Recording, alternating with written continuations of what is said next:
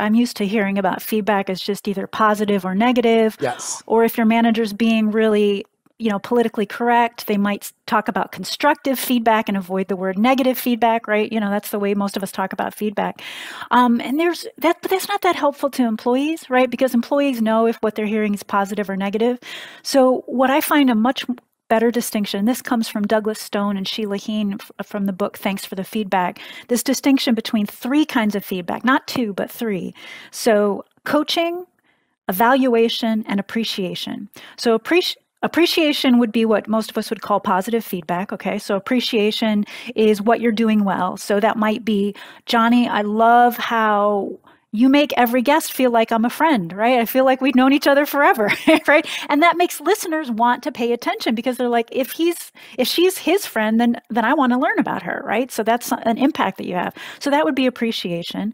Um, coaching is advice right? So coaching would be what you can do to improve. That might be you might say to Emily, Emily, I noticed you're kind of quiet in our Zoom meetings.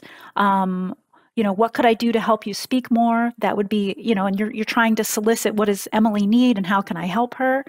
And then the last the third one there is evaluation. And evaluation is where you stand. So evaluation might be you have to tell alex like alex the past few months your output has been half of what it should be or at least half of the other people on the team. What's going on for you? What obstacles are you running into? And so appreciation coaching and evaluation.